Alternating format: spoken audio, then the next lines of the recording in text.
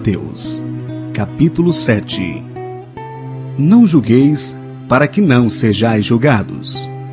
Porque com o juízo com que julgardes sereis julgados, e com a medida com que tiverdes medido, vos hão de medir a vós. E por que reparas tu no argueiro que está no olho do teu irmão, e não vês a trave que está no teu olho?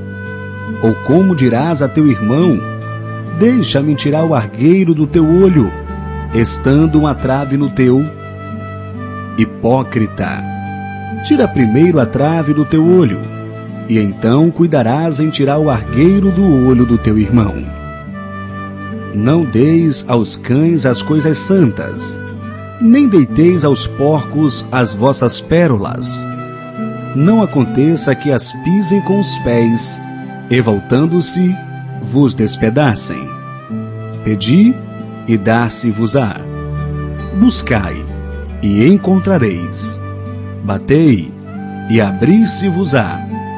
Porque aquele que pede, recebe. E o que busca, encontra. E o que bate, abre-se-lhe-á. E qual de entre vós é o homem que, pedindo-lhe pão, o seu filho lhe dará uma pedra? E pedindo-lhe peixe, lhe dará uma serpente? Se vós, pois, sendo maus, sabeis dar boas coisas aos vossos filhos, quanto mais vosso Pai que estás nos céus dará bem aos que lhes pedirem? Portanto, tudo o que vós quereis que os homens vos façam, fazei-lo também vós, porque esta é a lei e os profetas. Entrai pela porta estreita, porque larga é a porta, e espaçoso o caminho que conduz à perdição, e muitos são os que entram por ela. E porque estreita é a porta, e apertado o caminho que leva à vida, e poucos há que a encontrem. Acautelai-vos, porém, dos falsos profetas, que vêm até vós vestidos como ovelhas, mas interiormente são lobos devoradores.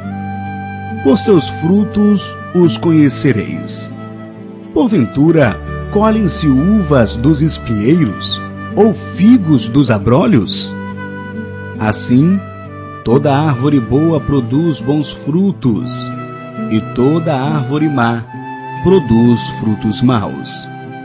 Não pode a árvore boa dar maus frutos, nem a árvore má dá frutos bons.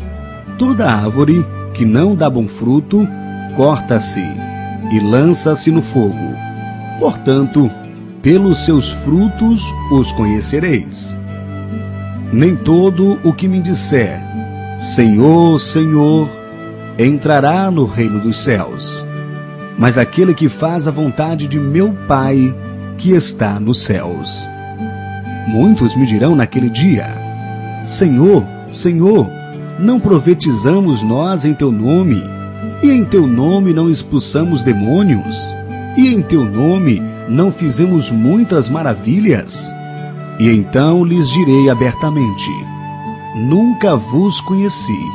Apartai-vos de mim, vós que praticais a iniquidade.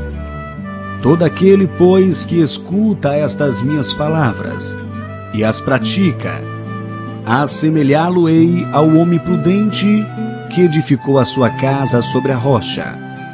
E desceu a chuva, e correram os rios, e assopraram ventos, e combateram aquela casa, e não caiu, porque estava edificada sobre a rocha. E aquele que ouve estas minhas palavras, e não as cumpre, compará-lo-ei ao homem insensato, que edificou a sua casa sobre a areia.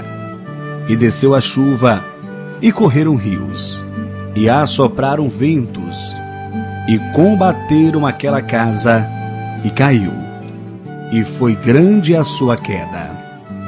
E aconteceu que, concluindo Jesus este discurso, a multidão se admirou da sua doutrina porquanto os ensinava como tendo autoridade, e não como os escribas.